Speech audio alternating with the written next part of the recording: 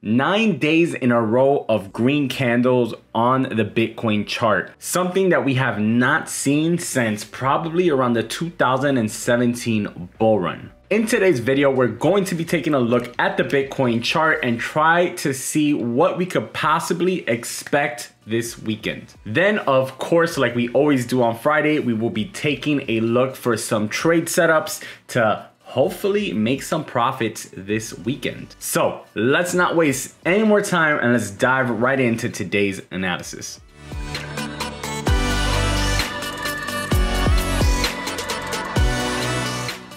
Hey, what's up? Jae here, and welcome to Bitcoin Daily, bringing you guys the best tips, tutorials, and ideas to help you guys become profitable and successful investors. The goal of this channel is to empower you, the community, with the knowledge and resources to take your wealth to that next level. So, if you guys are new to this channel, don't forget to subscribe and turn on the notification bell. If you guys have been here before, if you're enjoying this video, smash that like button to help us out with the YouTube algorithm. So let's dive into the analysis. So on Monday, we gave you guys a few different trade setups to take during this week and they hit for profits, guys. So the first trade setup that we gave you guys was that breakout trade above 40K. As you guys can see there, it broke out here for about a 1.3% move up. If you use leverage like we did, we use 10x leverage, that's about a 13% profit on that move. Now that was a smaller move. If you use our bounce entry on 38,000 like we told you guys in the event of a pullback as we expected, then you would have been able to enter this 38k breakout entry here and write it up to basically $41,000, guys. That there was about a 7.5% move or with 10x leverage, that would have been around 75% profit on that trade. So we had two very successful trades there. And if you guys were active enough, you could have definitely scalped that 40K entry multiple times over and made some nice profits over the week. Now, if you guys took our Ethereum trade entries, you guys would have been able to enter at that 2200 bounce back entry. You would have entered at 2200 and been able to ride it all the way up to 2450 for about 11.25% profit with 10x leverage. That's 112 and a half percent profit on that one trade if you were able to enter that with 10x. So if you missed these trades, do not worry guys. We will have some new trade setups that we will be watching and taking this weekend for you guys. So let's jump right into the analysis today. So as you guys can see, this week has been an incredibly bullish week here. And not only this week, but basically starting back on the 21st of July, which was last Wednesday and running all the way up until yesterday, we've had nine green days in a row, which is incredible, right? So we are down a little bit on the day. As you guys can see, we're down about 2% for Bitcoin. And this pullback is mostly due to Binance being shut down for crypto derivatives trading in Europe.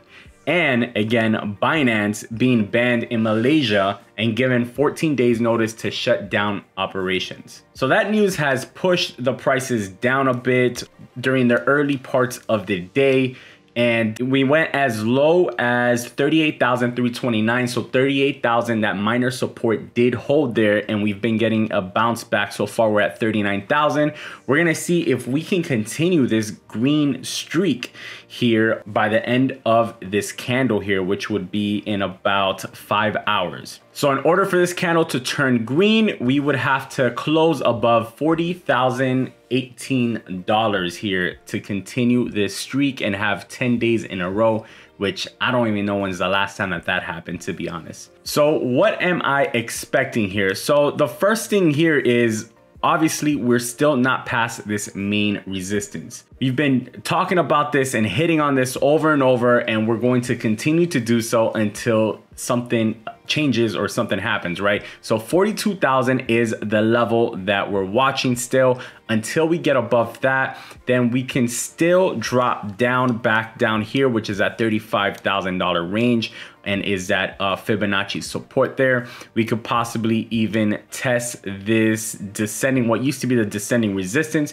We could test that as a, as a support there, and that would be around the $32,000 range at this point. So that's why we have to be careful with this, and we need to break up and above this range so that we can head upwards and, you know, pretty much scratch out all the bearish scenarios where we're dropping back down to 35, 32, and possibly even $28,000. So some more resistance that we have here, you'll see that this 100 day moving average is actually right there on top of that $40,000 range. So that's also playing a part in why we've been struggling here at $40,000. We need to get above it and close above this, the $40,000 mark and that 100 day moving average there so that we can have a chance at heading up towards this major $42,000 level. Now you'll see that there's a cross here. And if we zoom out a bit here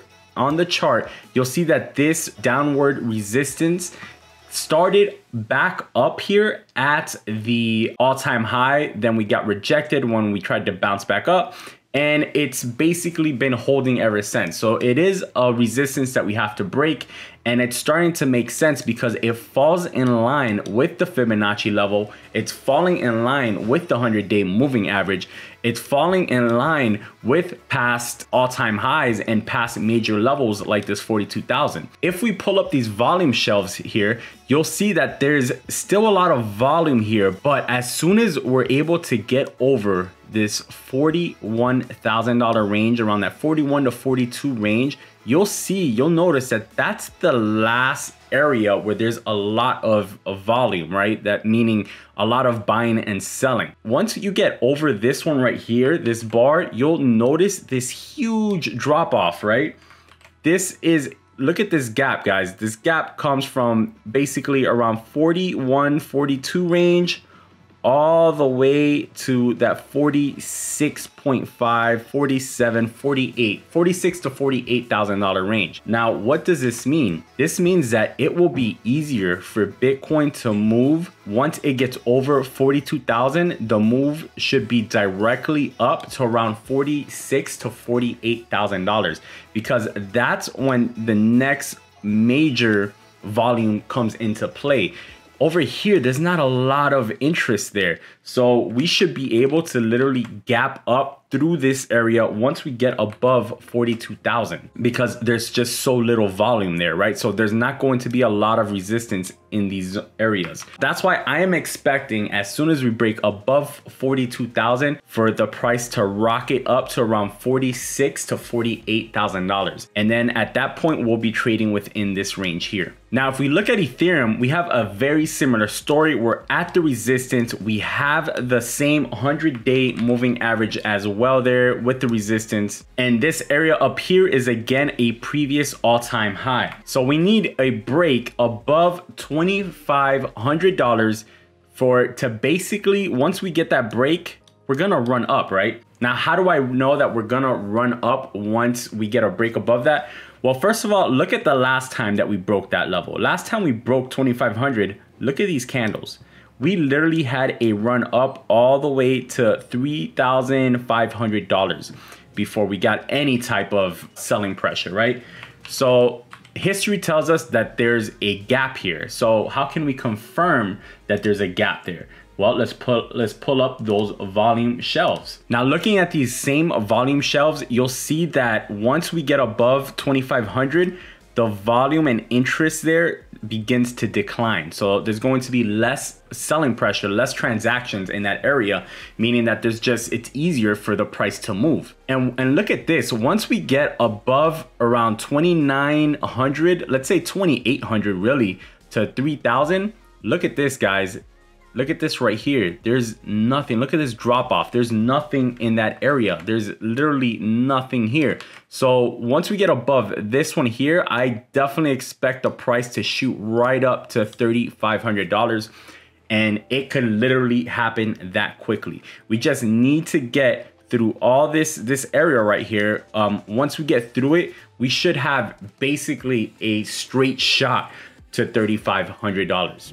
Now, do I think that could happen? Well, not this weekend, but I definitely do see it possibly happening by between the next week or two because remember on August 4th we have the update coming I'm expecting some bullish momentum here in Ethereum um, with that update and it's only a matter of time we could possibly break above this area this weekend and then you know be able to ride up here and break beyond that in the next week as we get that update and as you know that that bullish momentum and bullish news just continues to come out for ethereum there. So that's definitely what i am watching right now all right, so we've done an analysis on both Bitcoin and Ethereum. Now let's jump into some trade setups.